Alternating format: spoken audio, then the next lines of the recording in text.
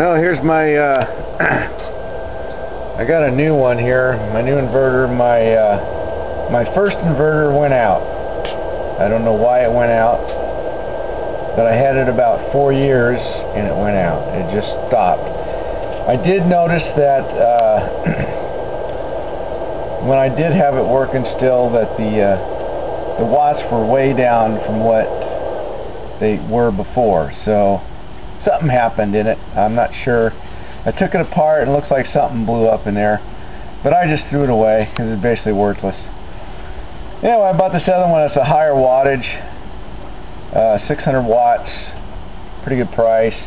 It's got, uh, uh, you can go 10.8 uh, volts to 28 volts input. Uh, it does pretty good. It looks like it's uh, working the way it's supposed to.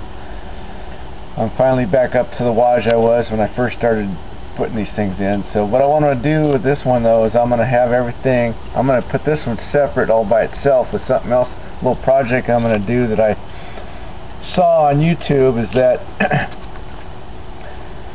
uh, on a battery, if you get a uh, DC to DC inverter,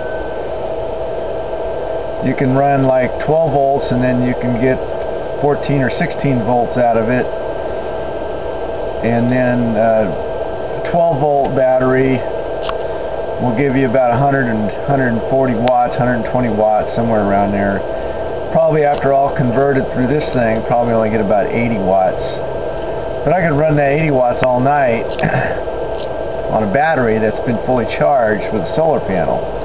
So that's what I'm thinking about doing with that one and just have all my stuff right now. I have about four, almost 400 watts in solar panels up on the top. Uh, I get about I get about 250 to 275 in some some areas. Here's my breaker. this little cheap breaker thing I put in. It works pretty good. Anyway, just a little update. I'm going to throw everything onto this one when I get around I just installed this thing today so I'm gonna put all of it on the the breaker and then hook it up to this grid tie 600 watt right here.